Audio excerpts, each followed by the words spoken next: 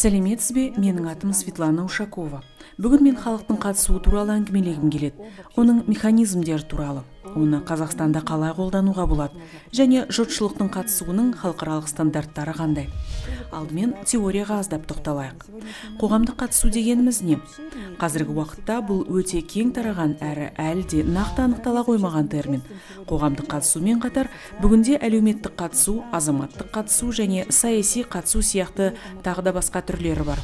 Шынымды айтсам мен бүгін қоғамдық қатысудың екі белгісін қамтитын формасына тоқталғым келеді. Горизонталды вертикалды.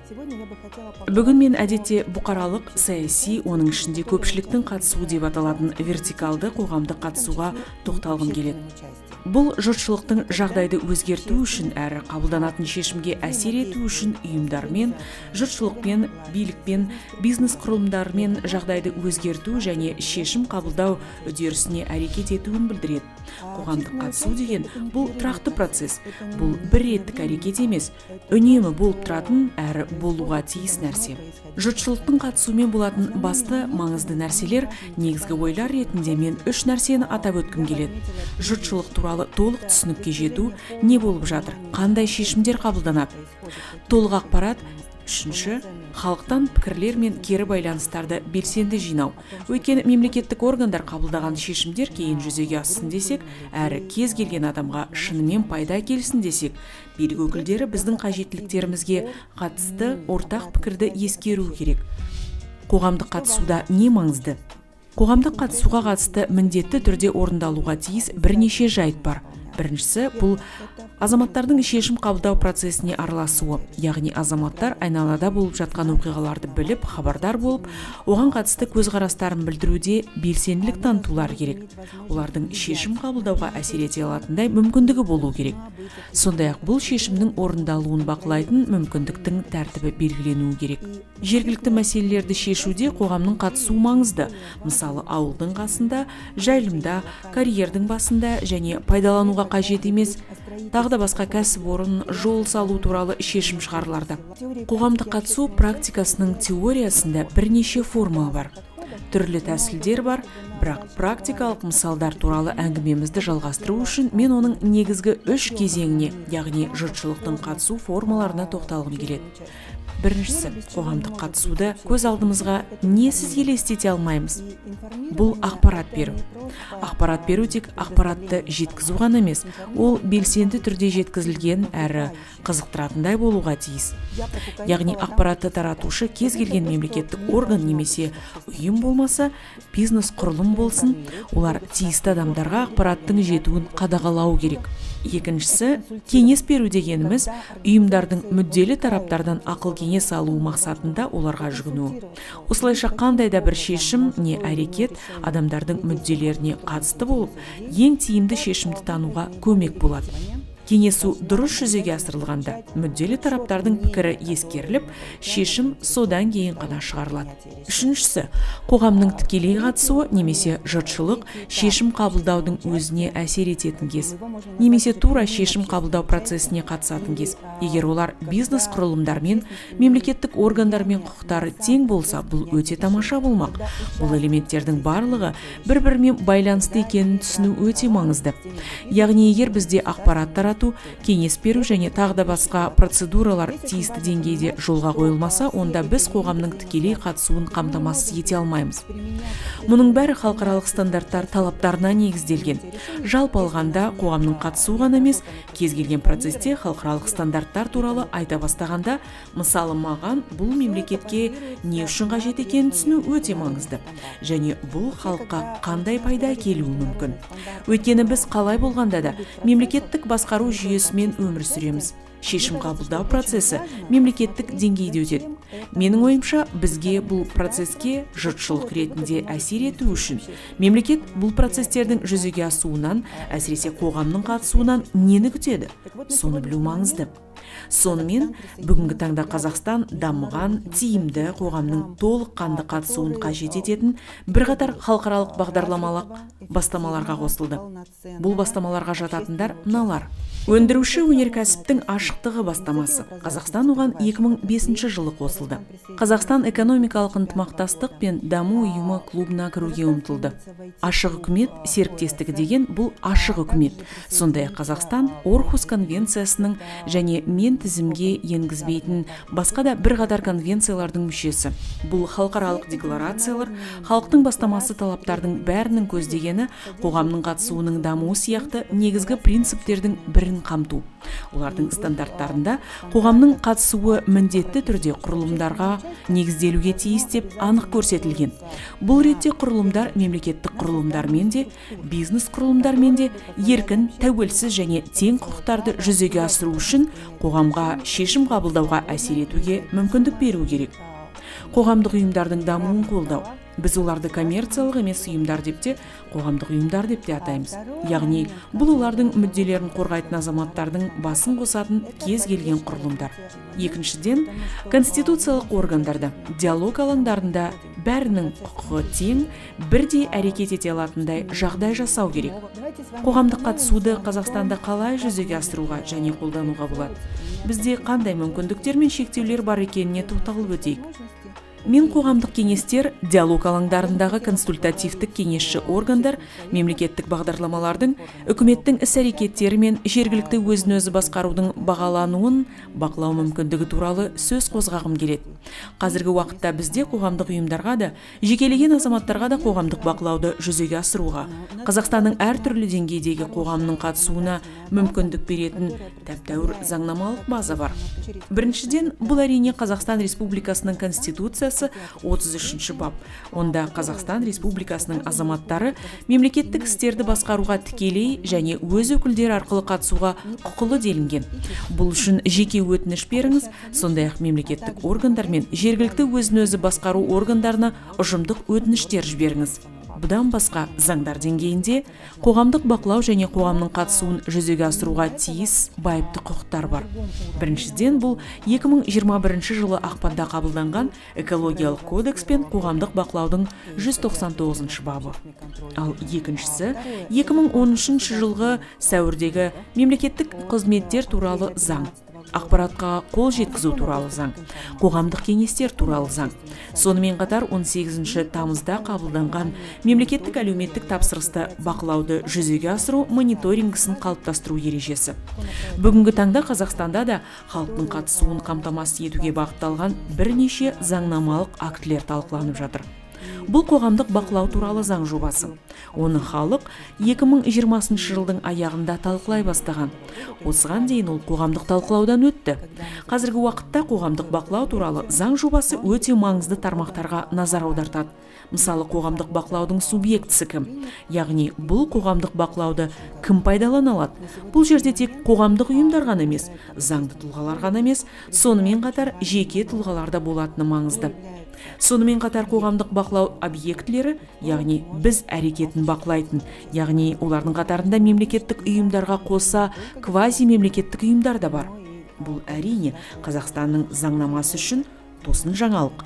Бұл бізге қоғам ретінде өзіміздің топтардың қауымдастықтардың және тағы да басқа мүдделерін тиімді түрде қадағалауға мүмкіндік береді деп үміттенемін сондай ақ биыл коммерциялық емес ұйымдарға үкіметтік емес ұйымдарға қатысты құқықтық нормалар жиынтығын талқылау процесі басталды.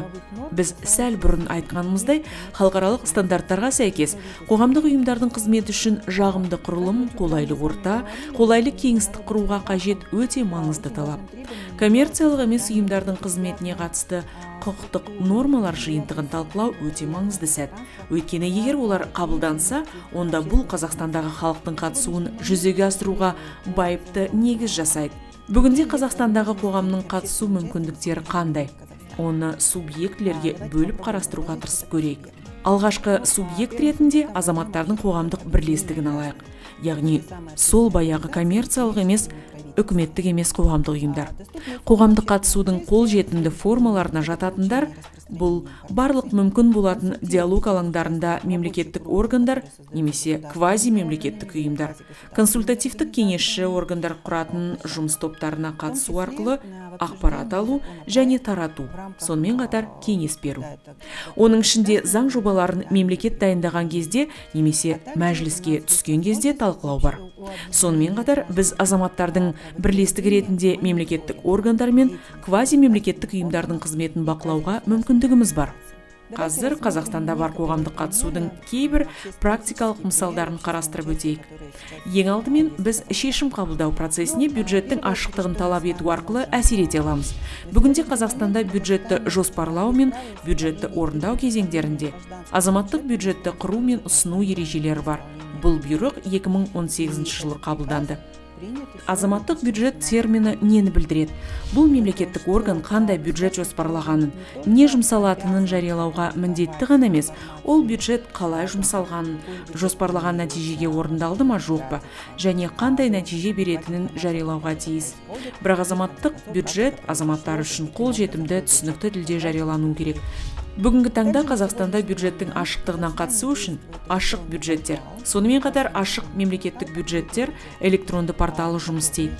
Онда барлық мемлекеттік органдар барлық деңгейлерде бюджеттік жоспарлау туралы ақпаратты біз қарап ұсыныстарымызды жіберуіміз үшін жүктеуге міндетті.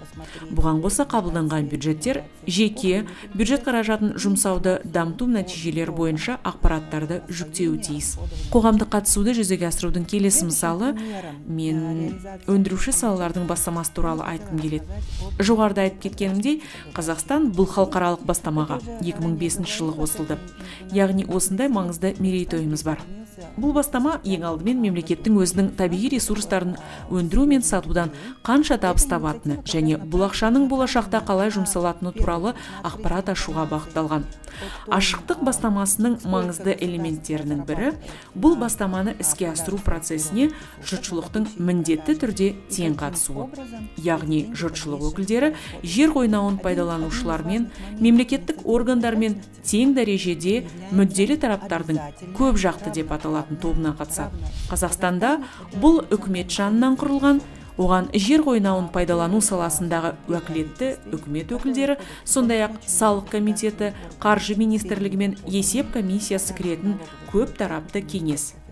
Компанияны қазэнерджи мұнай газ өнеркәсібінің ірі ассоциациялары мен тау кен кәсіпорындарының қауымдастығы ұсынған. Жұртшылық тарапынан коммерциялық емес ұйымдардың мұндай бірлестігі диалог алаңын ұсынды. Шешім қабылдау процесіне жұртшылықтың шынымен қатысуына мүмкіндік беретін маңызды жетістіктердің бірі ашықтық бастамасы аясында талқылау мен шешім қабылдаудың қабылданған процедурасы деп айтқым келеді. Барлық шешімдер консенсус негізінде қабылданады. Консенсус шешім қабылдаудың ең қиын тәсілдерінің бірі. Бірақ қазіргі уақытта ең тиімді себебі консенсус қолданған кезде әр тараптың пікірі ескерілу керек. Барлық мүдделер үйлестіріледі. Содан кейін өзара тиімді шешім қабылданады. Бұл элемент біздің заңнамаға өндіруші өнеркәсіптің ашықтығы бастамасы туралы меморандумға енгізілді.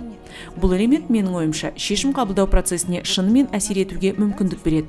Келесі маңызды мәселе бұл мүдделі тараптардың ұлттық кеңесі шеңберінде қабылданатын барлық шешімдер барлық мүдделі тараптар үшін яғни мемлекеттік органдар үшін және жер қойнауын пайдаланушылар үшін ірі компаниялар үшін міндетті болып табылады. Ал өндіруші салалар үшін ашықтықты енгізу кезінде бұл қағидат халықтың ұсыныстары негізінде тәжірибеде бірнеше рет жүзеге асырылды. Мәселелер ұлттық кеңесте талқыланып шешімдер қабылданды. Содан кейін ол заңнамада көрініс тапты. Қазақстан республикасының заңнамасында. Өндіруші өнеркәсіптің ашықтығы бастамасына халықтың тиімді қатысуын қамтамасыз ететін тағы бір маңызды элемент ипдо халықаралық стандарты бойынша қабылданған ашық хаттама.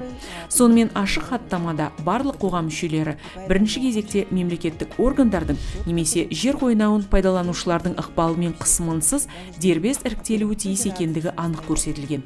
Шешімді талқылау процесіне және шешім қабылдау процесіне бірдей қатысыңыз. Қоғамдық қатысудың келесі мысалы қазақстандағы жергілікті басқару органдарын қарастырайық. Жергілікті өзін өзі басқару ұйымдарын қысқаша жөбо деп атайық. Бүгінгі таңда оның аясында жұртшылықтың шешім қабылдау үдерісіне әсер ету үшін өкілеттіктер жеткілікті. Бұл ең алдымен халықтың жергілікті бюджет процесіне қатысуын білдіреді. Біз бәріміз дайындық кезеңіне қатыса аламыз. Бұл жағдайда мемлекеттік органдар жұртшылықты басымдықтарды анықтауға ұсыныстар енгізуге тартуға және осы ұсынысқа оң көзқарасты қалыптастыруға міндетті. Бюджетті қарау кезеңінде біз түзетулерді қабылдау үшін мақсатты топтың мүдделерін алға тартамыз. Бюджеттің орындалу кезеңінде біз қоғамдық бақылауды жүзеге асыра аламыз біз бұған дейін бұл туралы талқылағанбыз. Бұл үшін бізде жақсы заңнамалық база бар. Бюджетті түзету кезінде мемлекеттік органдар сонымен қатар сізден біздің мүдделерімізді ескеруге және халықтан пікір жинауға міндетті. Және әрине бюджеттің атқарылуы туралы есеп беру кезінде мемлекеттік органдар оны ашық етіп жұртшылықтың мұны білуіне көмектесуі керек. Бұған қоса халықпен кері байланыс орнатқан дұрыс. Жергілікті деңгейде бюджеттік процеске қатысудан басқа біз сіздермен жергілікті өзін өзі басқарудың аумақтық кеңестерін құруға мүмкіндігіміз бар. Бұл қазақстан республикасының жергілікті өзін өзі басқару және өзін өзі басқару туралы заңның 39 бабы жетінші тармағы. Жергілікті өзін өзі басқарудың аумақтық кеңестері келесі функцияларды орындай алады. Мемлекеттің араласуын қажет етпейтін әртүрлі даулы жағдайларды шешу азаматтардың өмір сүру жағдайларын зерттеу азаматтардың қажеттіліктерін анықтау жергілікті деңгейдегі мәселелерді шешу және жергілікті мемлекеттік органдарға араласуды сұрау. Сондай ақ жергілікті өзін өзі басқару ұйымдарының аумақтық кеңестері сауалнама жүргізу және референдум сайлауына қатысу жұмыстарына қатыса алады тағы бір маңызды мәселе. Белгілі бір территориялық аумақтың мәселелерін шешу үшін азаматтардың жиналысын өткізу. Ал жергілікті деңгейде мемлекеттік шаралар мен басқа да жалпы қалалық іс шараларды ұйымдастыру. Шынымды айтсам қазіргі уақытта мен өз тәжірибемде жергілікті өзін өзі басқару ұйымдары белсенді жұмыс істейтін аумақтық кеңестерді кездестірмедім. Бұған объективті де субъективті де себептер жеткілікті. Бірақ менің ойымша оның жағымды жақтары да бар. Қазіргі кезде қазақстанда жергілікті өзін өзі басқару ұйымдарына қатысты заңнаманы өзгерту мәселесі талқылануда. Жергілікті өзін өзі басқару ұйымдарының органдарының құрылымдарымен қосымша өкілеттіктер мен қосымша бюджеттерінің ауысуы туралы және мен бұл бастама оған жергілікті деңгейде аумақтық ауылдық округтер жекелеген ауылдар деңгейінде болуға мүмкіндік береді деп үміттенемін. Яғни белгілі бір аумақ үшін тиімді болатын шешімдер қабылдау. Өйткені жергілікті өзін өзі басқару ұйымдарының көздегені белгілі бір аумақта тұратын халықты өз бетінше шешім шығаруға тарту. Бірақ менің ойымша қазіргі кезде біз қоғамның қатысуын жүзеге асыра алатын маңызды элементтердің бірі маңызды құрылымдардың бірі. Проблемаларымыз туралы айтылатын жер бұл қоғамдық кеңес. Менің көзқарасым қоғамдық кеңестердің құқықтық мәртебесі. Қоғамдық кеңестер туралы заңнама деген бірінші бапқа негізделген. Сегізінші тармақ бойынша қоғамдық кеңестердің ұсыныстарын қазақстан заңнамасында көзделген шешімдер қабылдайтын және дәлелді жауап беретін квази сот секторының субъектілері мемлекеттік органдардың қарауында міндетті болып табылады. қазіргі уақытта бұл бізге үкіметтік шешімдерге әсер ету бойынша нақты өкілеттіктер беретін жалғыз бап болып отыр. Бұл бап бойынша мемлекеттік органдар бюджеттік бағдарламаларды талқылау үшін 10 жұмыс күні ішінде негізді жауап беруге міндетті. Ал олардың басқа мәселелер бойынша қоғамдық кеңестердің дәлелді жауаптары мен ұсыныстарын беруге 30 күннен аспайтын уақыт беріледі. Бұл өте маңызды. Үшінші бап қоғамдық кеңестер туралы заң қоғамдық кеңестердің мақсаттары мен міндеттерін дәл анықтайды. Біз үшін ең маңызды міндеттер мыналар. Бұл республикалық және жергілікті деңгейде шешімдер қабылдауды талқылау кезінде азаматтық қоғам мүдделерін қамтамасыз ету және қоғамдық пікірді ескеру. Бұл орталық атқарушы органдар мен жергілікті өзін өзі басқару ұйымдары органдарының сондай ақ квазимемлекеттік сектор субъектілерінің азаматтық қоғаммен өзара іс қимылын дамыту қоғамдық кеңестер өздерінің жеке пікірін ғана емес сол топтардың пікірін құқықтық ережелер мен мүдделерді білдіруге міндетті. олар осы немесе басқа да мемлекеттік шешім қабылдаумен бұзылуы мүмкін. мемлекеттік органдармен де жұртшылықпен де өзара әрекеттесудің барлық мүмкін формаларын қолдануға тырысыңыз. әрі жаңаларын ұсыныңыз. Яғни біз қоғамдық кеңестердің мүмкіндіктері мен міндеттерінің жеткілікті кең ауқымын көріп отырмыз. Сіз қоғамдық кеңестердің қағидалары деп аталатын қоғамдық кеңестер туралы заңның төртінші бабында олар тәуелсіз болу керек делінген. Мен олардың тәуелсіздігінің іргесі болып саналатын қоғамдық бірлестіктерді құру мәселелеріне және мәселелеріне қайта оралғым келеді. Ал бесінші мен басқалардың барлығын атамай ақ қояйын. Бұл қоғамдық кеңестердің жариялылығы. Яғни қоғамдық кеңестердің қызметі ашық болу керек. Демек біз бұл туралы үнемі біліп отыруымыз керек. Қоғамдық кеңестердің қызметі туралы ақпарат мемлекеттік органдардың порталында жариялануға тиіс. Оның астында осы немесе басқа қоғамдық кеңес құрылады. Сол заңның бесінші бабында қоғамдық кеңестің өкілеттіктері туралы айтылған. Бұл да өте маңызды мәселе. Меніңше бұл туралы өкінішке қарай білетін адамдар саны тым аз. Қоғамдық кеңестер мемлекеттік кәсіпорындардың даму жоспарларының орындалуын бақылау нәтижелері туралы есептерді талқылай алады. Нормативтік құқықтық актілердің жобаларын әзірлеуге және талқылауға қатыса алады.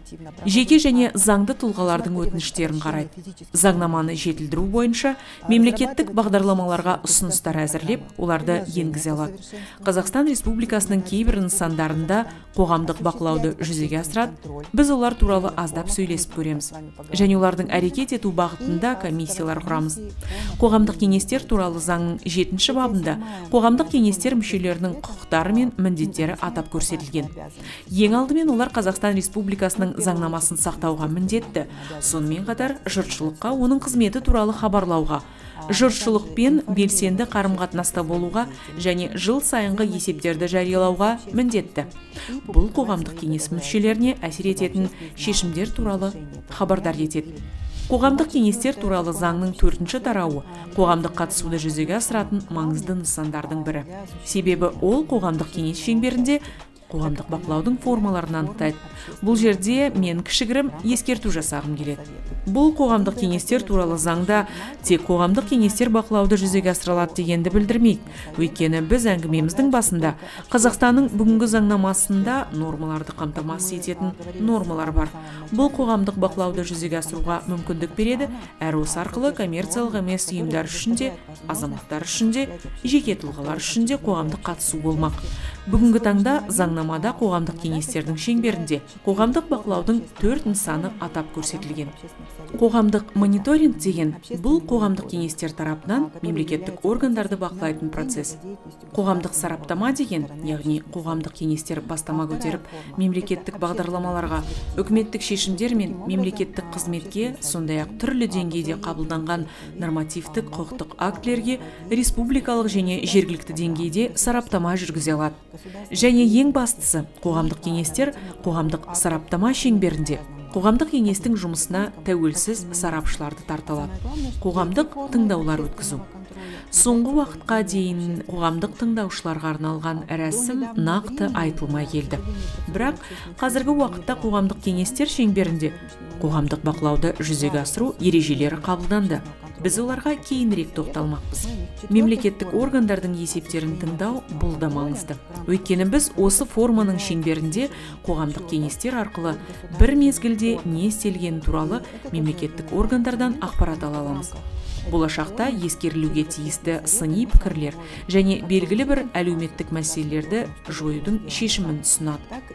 Бұған дейін айтып кеткенімдей қоғамдық кеңестер шеңберінде қоғамдық бақылауды жүзеге асыру тәртібін неғұрлым егжей тегжей сипаттау үшін сол жылдың ақпанында қазақстан республикасы қоғамдық даму министрлігінің қоғамдық бақылау ұйымдарының ережелерін бекіту туралы бұйрығы қабылданды. Бұл жерде не маңызды?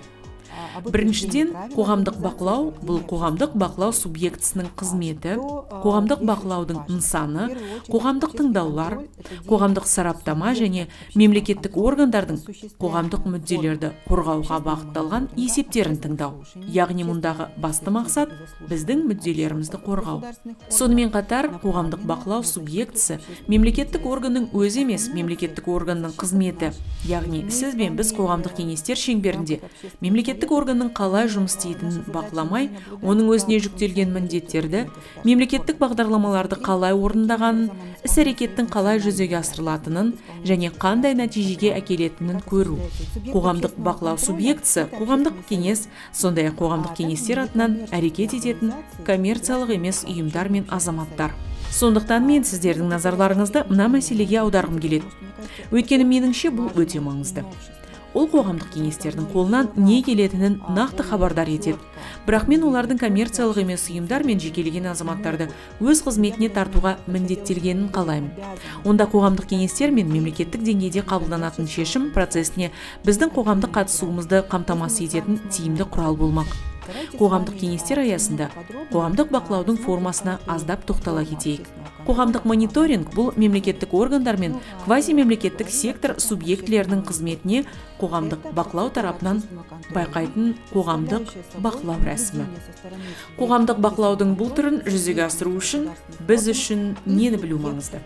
Біріншіден сіз бен бізде қоғамдық кеңес бекітетін жоспар болу керек. Қоғамдық бақылау объектілеріне сұраныстар керек. Қоғамдық бақылау нәтижесі. бұл қоғамдық бақылау субъектілерінің тиімділігін арттыру бойынша теріс салдары ұсыныстар мен ұсыныстар бар қорытынды. ұсыныс бойынша біз оларды мемлекеттік органдарға 10 күнтізбелік күн ішінде жібереміз. яғни заңда бұл өте қатаң бекітілген. яғни қоғамдық бақылау жүргізілгеннен кейін қоғамдық кеңеске және біз жұртшылыққа бұл ұсыныстарды тұжырымдайтында көп уақыт жоқ. Қоғамдық бақылау субъектісі 30 күн ішінде яғни 30 күннен кешіктірмей дәлелді жауап беру керек. Бұрын айтқанымыздай егер мұндай ұсыныстар бюджет мәселелеріне бюджет рәсімдеріне қатысты болса онда мемлекеттік орган жауабын 10 жұмыс күнінен кешіктірмей беруге тиіс. Қоғамдық кеңестің төралқасы мемлекеттік органдарға жіберілген. Осы ұсынымдардың орындалуына бақылау керек. Менің ойымша бұл да осы ережелерде қамтылған бұрын заңнамада болмаған. Бұл процедураны нақты бекітетін өте маңызды түсініктеме. Бұған қоса менің ойымша ұзақ уақыт бойы қоғамдық бақылау мен қатысу мәселесімен айналысатын қоғам қайраткері сияқты. Бұл қоғамдық мониторингте расында қолданыла бастайтын маңызды қадам. Қоғамдық сараптама. Бұл қоғамдық бақылау субъектілерінің арнайы білімді қолдануға негізделген қоғамдық бақылау рәсімі. Бұл ережені бекітетін жаңашылдық өте маңызды. Бұл қоғамдық кеңестер тәуелсіз сарапшылар мен жеке адамдарды тартылады ал соның ішінде тәуелсіз ұйымдар қоғамдық кеңес арқылы сараптама жүргізе алады. Иә онша алыс жол емес. Қоғам қайраткері ретінде егер мен мемлекеттік бағдарламаны іске асыруда. Қандай да бір проблема бар екенін көрсем онда сараптаманың жүргізілгенін қалаймын. Онда мен алдымен қоғамдық кеңеске жүгінуім керек. Дәлелдер мен бұған қол жеткізсеңіз осылайша қоғамдық сараптама жүргізу қоғамдық кеңестің хаттамасында бекітілді. Осыдан кейін мен өз қаражатыма да өзге де қаржы көздерінен де тартып сараптама жүргізе аламын. Қоғамдық сараптама нәтижесі. Қоғамдық кеңес мемлекеттік органдарға ұсыну үшін қандай маңызды жайттарды ескеру қажет. Біріншіден қоғамдық кеңес бастамашысының хаттамасынан үзінді жіберіледі де оның негізінде мен қоғамдық сараптама жүргізе аламын. Сараптамалық комиссия қайтадан қоғамдық кеңестің шешімімен құрылады. Онда осы қоғамдық сараптаманы өткізу жөніндегі міндеттер бөлінеді. Сараптама нәтижесі қоғамдық кеңеске жіберілетін сараптау комиссиясының қорытындысы болмақ. Қоғамдық кеңес оны қарастырып қабылдайды. Әрине қабылдау да қабылдамауы да мүмкін. Мүмкін түзетулер енгізер де одан кейін пікірін мемлекеттік органға жіберуі мүмкін.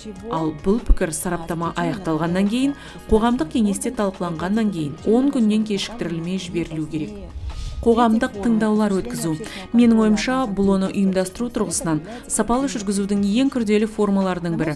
Себебі қоғамдық тыңдаулар қоғамдық тыңдауларды болжайды.